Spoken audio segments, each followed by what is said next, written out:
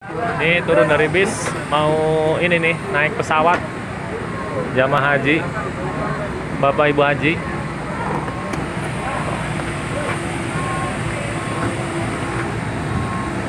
Berhati-hatilah di perjalanan sampai pada tujuan. Tempat Saudi Orleans ya.